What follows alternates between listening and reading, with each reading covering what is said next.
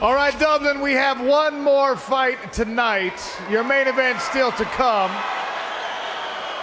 But first, the little business I want to attend to.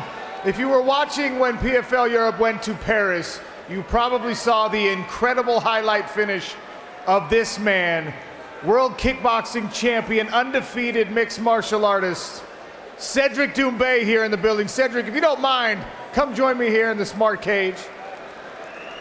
Cedric Doumbé, Dublin, make some noise. Great to see you again. Still buzzing from that victory. Paris was a special night. And since we've had huge news in the Professional Fighters League, the acquisition of Bellator is complete. The PFL roster and the Bellator roster are now one. When you heard the news, what was your first thought? You know, uh, with PFL, every month is a big news. So every time I'm amazed. First of all, I want to thank PFL for, you know, to inviting me here. I want to thank the island also. I love Ireland. My, you know, for the story, my first training came uh, in MMA was in Ireland with uh, SBG, Dave Roche, Owen Roddy, and uh, John Kavanagh. So big shout out for them. And uh, I love Ireland. It's very cold, but I love Ireland. it has been a little bit chilly, but you see that Bellator roster, you see the PFL roster, you know that you're a star and you're undefeated. So, do you see any matchups you like maybe for 2024? You know, uh, my last fight, I didn't really fight. Nine seconds, you know, that was very, very fast.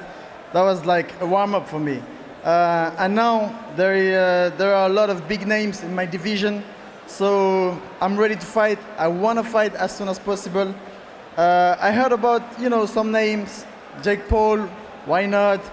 Maybe I heard also about one guy who is willing maybe to sign in, uh, in PFL and uh, I would love to uh, welcome him and uh, in this division, in this uh, smart cage for his first fight and also his first knockout. So, MVP, whenever you want, I'm here for you. MVP Michael Venom Page. Michael Venom Page is in the building right now.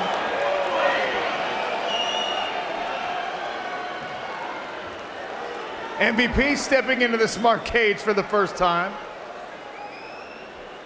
MVP, nice to meet you. All right, so a little face off here. Can I?